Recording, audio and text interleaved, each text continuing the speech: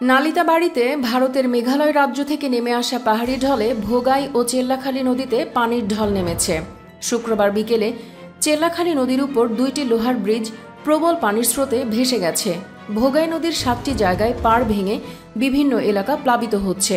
ভোগাই নদীর পানি নালিতাবাড়ি পয়েন্টে বিপদসীমার বাষট্টি সেন্টিমিটার উপর দিয়ে প্রবাহিত হচ্ছে আর চেল্লাখালী নদীর পানি বিপদসীমার তিনশো সাতাত্তর সেন্টিমিটার উপর দিয়ে প্রবাহিত হচ্ছে।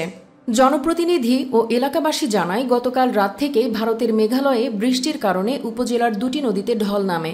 ঢলের পানিতে আজ সকাল থেকেই দুটি নদীর পানির স্রোতে বিভিন্ন এলাকা প্লাবিত হতে থাকে। উপজেলার পোড়াগাঁও ইউনিয়নের বারোমারি বাজার থেকে ইউনিয়ন পরিষদে যাওয়ার চেল্লাখালী নদীর উপর একটি লোহার ব্রিজ ও আমবাগান বাজার থেকে পশ্চিমে ইকোপার্ক যাওয়ার চেল্লাখালী নদীর উপর আরেকটি লোহার ব্রিজ দুপুরের দিকে স্রোতের তোরে নদীতে ভেসে যায়। এছাড়াও ঢলের পানি বাঁধ উপচে চারটি গ্রাম প্লাবিত হয়েছে। গ্রামগুলো হলো বাঁধকুচি, পোড়াগাঁও, লক্ষ্মীকুড়া ও ধুপাকুড়া। এদিকে ভোগাই নদীর পানি বৃদ্ধির কারণে পৌর শহরের আট নম্বর ওয়ার্ডের নিচ পাড়া দেড় কিলোমিটার এলাকার মধ্যে চারটি ভাঙন দেখা দিয়েছে।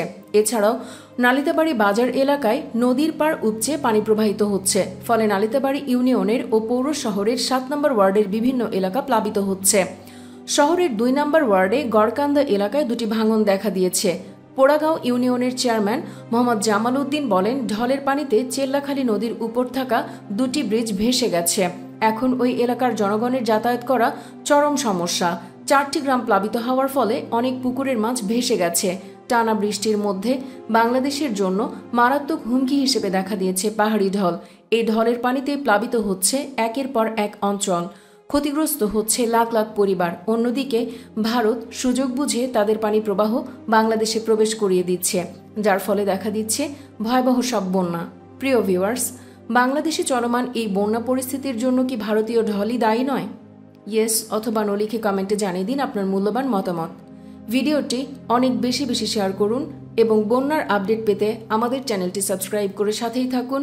ধন্যবাদ।